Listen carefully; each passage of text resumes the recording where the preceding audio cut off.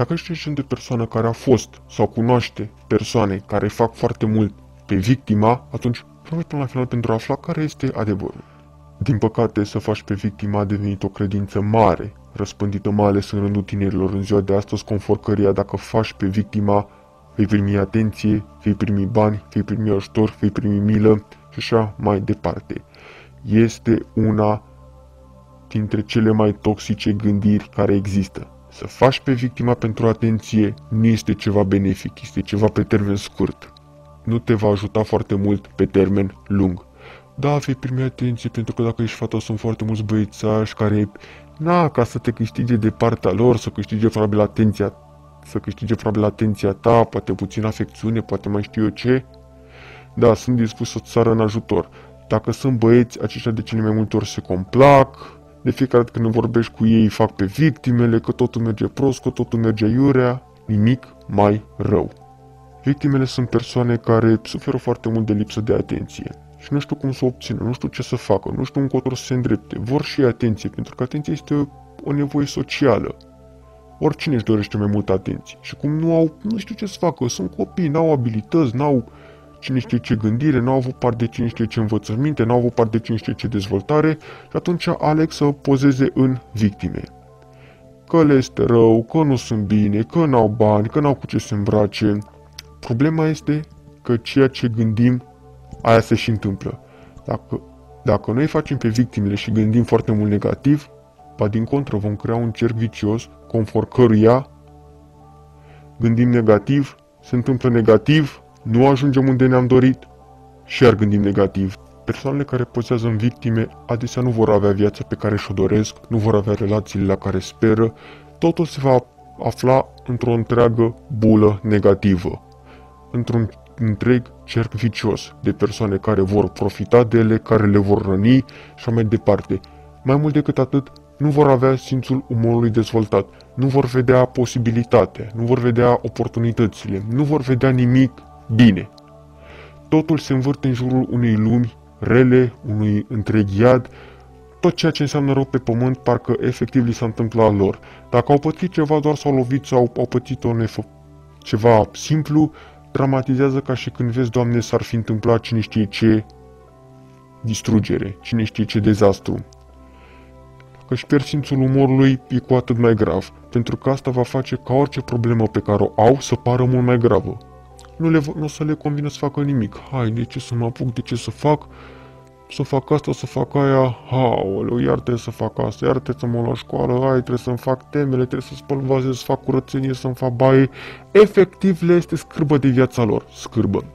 Le e silă de viața lor, pentru că vor considera că orice au de făcut nu este bine nu o să le mai placă să facă nimic, pentru că mintea va începe să perceapă ca orice lucru pe care l-ai de făcut ca fi negativ practic nu mai face diferența între bine și rău și percepe ca tot ceea ce ai tu de făcut este rău, inclusiv că te o să iei o pâine.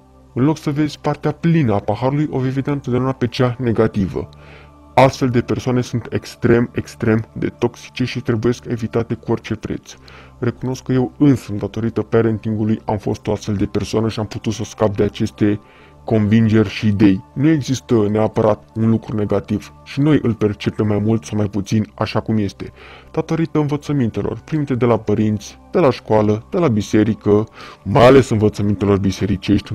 Dacă ai parte de astfel de persoane și nu vor efectiv să se schimbe, le place să se complacă în situația lor pentru că da, vor da de probleme și foarte multe persoane au probleme.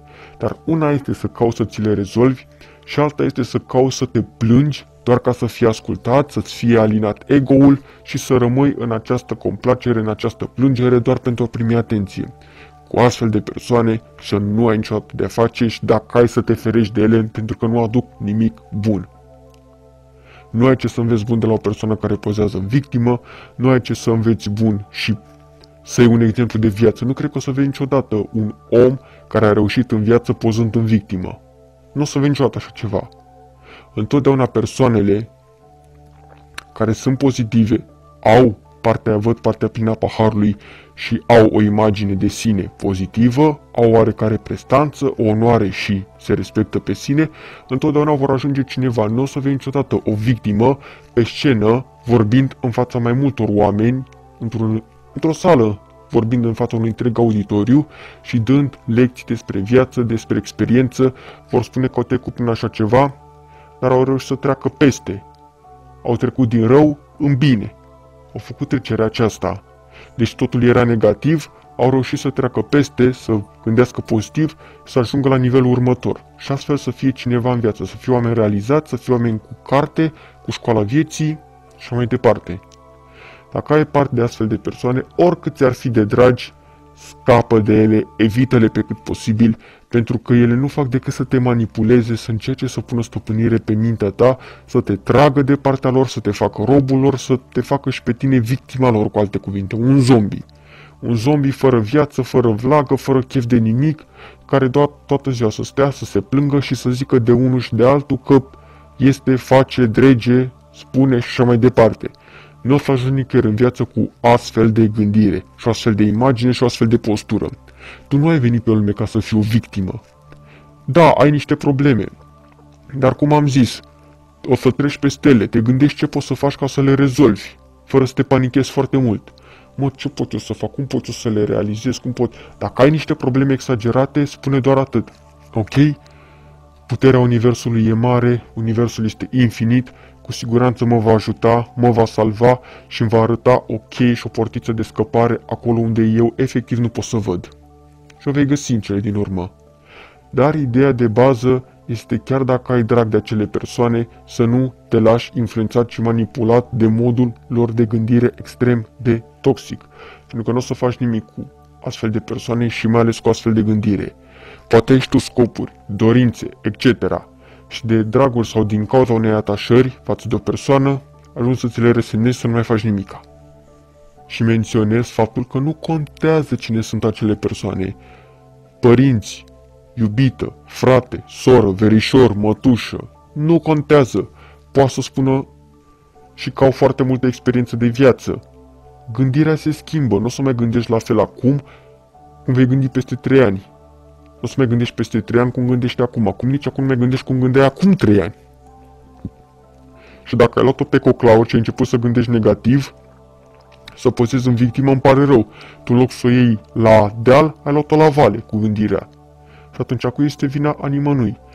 Este a ta, că ai acceptat și ți-au fost băgate pe gât toate porcăriile, toate ideile și acum normal că pozezi în victimă ca restul oamenilor care dau vina pe țară, pe guvern, pe popor, pe ăla, pe ăla, pe ăla. Despre ce vorbim? Fraților, nu suntem victime. Noi facem pe victimele, dar nu suntem. Suntem ca elefantul ăla care credea că este în lanțuri, când de fapt avea o simplă sfoară la picior legată de o bucată de len, care o rupea fără, fără să chinuie foarte mult. Exact ca ăla suntem.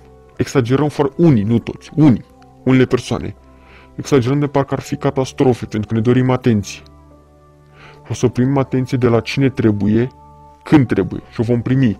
Pentru că în viață nu rămânem fără atenție, ba din contă. Eu sunt câteva momente în viață când dacă nu știm cum să o obținem, pentru că nu am fost educați de părinți și de școală și de sistem, sunt câteva momente în viață când efectiv o să tânjim să vorbim cu cineva. Dar acum avem social media, putem vorbi cu oricine. Ți rușine să vorbești, am să sari, nu face pe victima ca să primești atenție. Nu va funcționa. Sau dacă va funcționa cel puțin pe termen scurt cu anumite persoane. Dar nu trebuie să te complaci în situația aia, pentru că mai rău nu o vei rezolva, mai rău o vei întâmpina. Trebuie să zici că o să treci peste și că o să fii din ce în ce mai puternic sau puternică, fizic și emoțional. Despre asta este vorba. Cam asta ar fi. Dacă ți-a plăcut, nu uita de like, share, subscribe, iar noi ne vedem data viitoare.